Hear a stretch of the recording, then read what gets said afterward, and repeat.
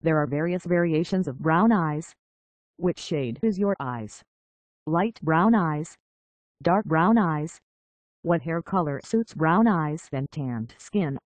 First, hair color ideas for tan skin and brown eyes include brunette hues, some darker blondes and also some red hair colors.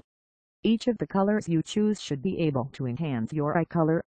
Try going for lighter shades especially if your eyes are dark brown and you want to create a contrast that will make them visible. Dark blonde and some shades of brown hair dyes will also suit women of medium tan skin.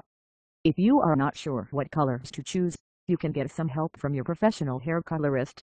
Just know that if you are a woman with brown eyes, you can't try on a wide range of hair colors most of which will look suitable on you unless you want to go the unnatural hair color way.